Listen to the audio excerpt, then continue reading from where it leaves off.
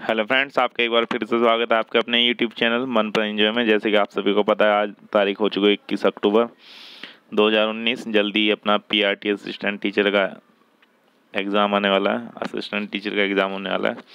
तो आइए ज़्यादा टाइम ना लेते हुए शुरू करता हूँ अपनी वीडियो इसमें पहला क्वेश्चन है, हुमायूं ने सन पंद्रह में दिल्ली में दीपपना नामक एक शहर का निर्माण कराया था, एक नगर का निर्माण कराया था।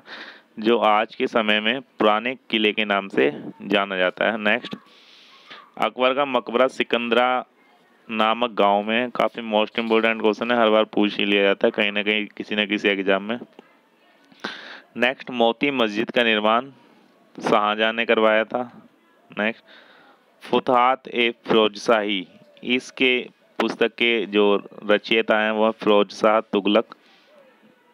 नेक्स्ट तारीख फिरोजशाही इसके भी जो लेखक हैं, वो हैं बरनी। नेक्स्ट तुजुके बाबरी तुर्की भाषा में है। कई बार क्वेश्चन आ जाता है।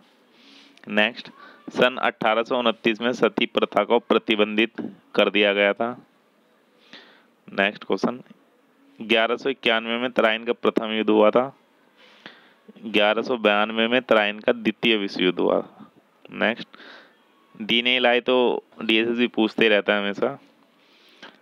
पंद्रह सौ बयासी में दीन इलाई की घोषणा की गई थी। नेक्स्ट 20 अक्टूबर को प्रति वर्ष विश्व सांख्यिकी दिवस मनाया जाता है। Next question I M N E X दो हज़ार उन्नीस, नौसेना अभ्यास, भारत तथा म्यांमार के बीच संयुक्त रूप से होगा, जो कि आंध्र प्रदेश में संपन्न किया जाएगा। Next Bong sports person of the year 2019 पुरस्कार जीतने वाली भारतीय धावक हैं दूती चंद। नेक्स्ट 2022 में इक्यानवी इंटरपोल महासभा का जो मेजबानी करेगा वो देश है, भारत। आगे देख लेते हैं। यूनेस्को का मुख्यालय पेरिस में है। नेक्स्ट पहले सिख गुरु गुरु नानक देव जी ने 1522 में करतारपुर साहिब की स्थापना की थी।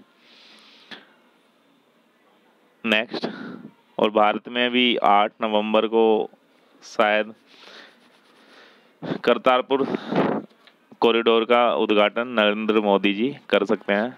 नेक्स्ट राजनाथ सिंह आज लद्दाख में रिन चैन ब्रिज का उद्घाटन करेंगे। तो फ्रेंड्स ये थी एक और इम्पोर्टेंट वीडियो अगर आपको वीडियो अच्छी लगती है तो प्लीज़ लाइक करें शेयर करें सब्सक्राइब करें। Thanks for watching this video